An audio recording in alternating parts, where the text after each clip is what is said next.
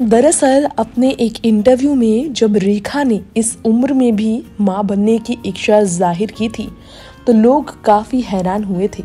आज इस रिपोर्ट में हम आपको बताना चाहेंगे कि सच है कि रेखा ने एक या दो नहीं, ग्यारह बच्चे, यानी कि पूरी की पूरी क्रिकेट टीम की माँ बनने को लेकर इच्छा ज़ाहिर की थी।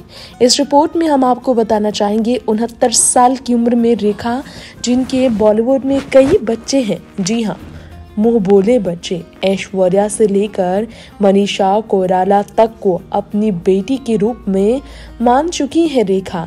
ऐसे में रेखा के लिए बॉलीवुड की जो अभिनेत्रियाँ, उनकी बेटी सम्मान है, उनके लिए रेखा माँ के सम्मान भी है। बॉलीवुड के कई एक्टर्स भी रेखा को माँ के बराबर सम्मान देते हैं। लेकिन अपनी खुद की संतान के बारे में रेखा ने इच्छा ज़ाहिर की थी कि वो पूरी की पूरी क्रिकेट टीम को जन्म देना चाहती है, यानी कि ग्यारह बच्चों की माँ बनना चाहती है, ऐसा उन्होंने एक इंटरव्यू में कहा था, क्योंकि उन्हें बच्चे बहुत पसंद थे।